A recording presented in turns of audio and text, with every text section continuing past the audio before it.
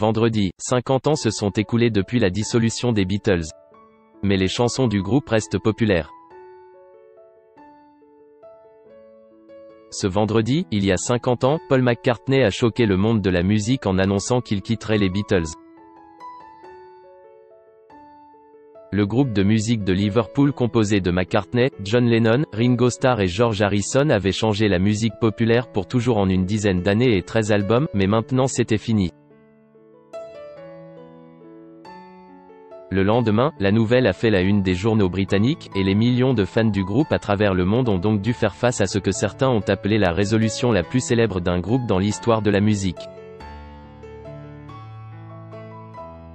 Le musicien Paul Weller, qui avait 11 ans à l'époque, raconte au Guardian qu'il se souvient d'avoir vu un gros titre sur les adieux de McCartney. Je ne pouvais pas comprendre cela.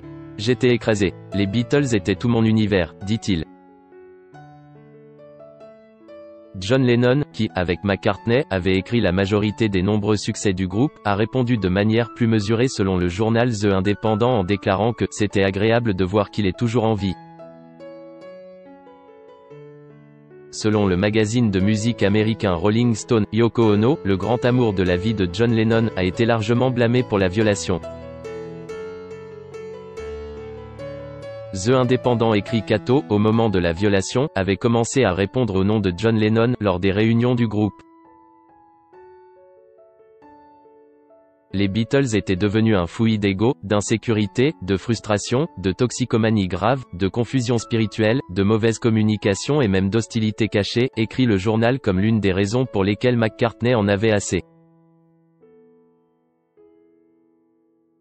À l'époque, il était difficile d'imaginer que la musique du groupe 50 ans plus tard serait toujours populaire.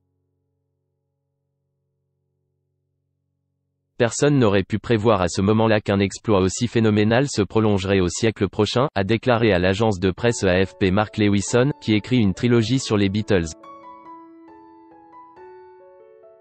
50 ans après la rupture, les Beatles restent l'ultime artiste, ajoute-t-il. En septembre 1969, les Beatles terminent l'album Abbey Road qui devient le dernier du groupe et très convenablement, la dernière chanson de l'album s'appelait The End.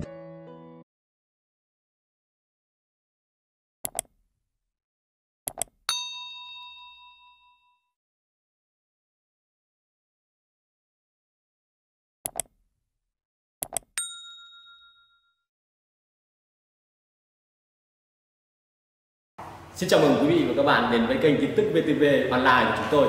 À, Hôm nay chúng tôi sẽ đưa đến các bạn những tin tức mới nhất của trong ngày và vì dịch Covid-19 hiện tại đang lan rất rộng trên toàn thế giới và nước ta là một trong những nước mà có những ờ, mầm dịch ờ, được hạn chế nhất.